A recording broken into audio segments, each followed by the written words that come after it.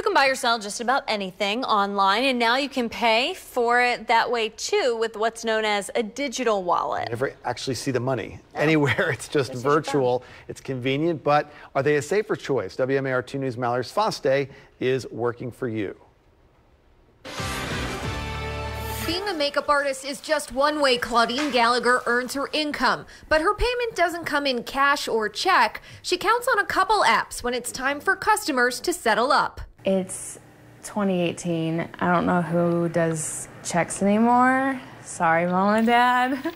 But cash, it's, it's a lot more hassle because there's really no paper trail. By 2020, people are expected to make about $726 billion in purchases using digital wallets such as Venmo, Zelle, PayPal, and Apple Pay. We want speed and convenience and sometimes there's a price to pay for that. In this case, it may be security. These apps are typically connected to your bank account, debit, or credit card. And Mike Boyton of the Better Business Bureau says now scammers are finding creative ways to separate you from your money. Perhaps they'll pay for an item.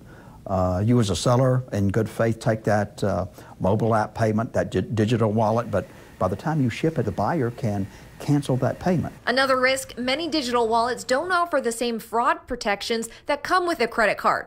But Claudine has her own way of playing it safe. I always, always, always make sure the digital payment clears before I even do the service for them. The Better Business Bureau says to protect yourself, only transfer money between friends. And when you can't do that, at least have your wallet linked with a credit card to get protection when you pay.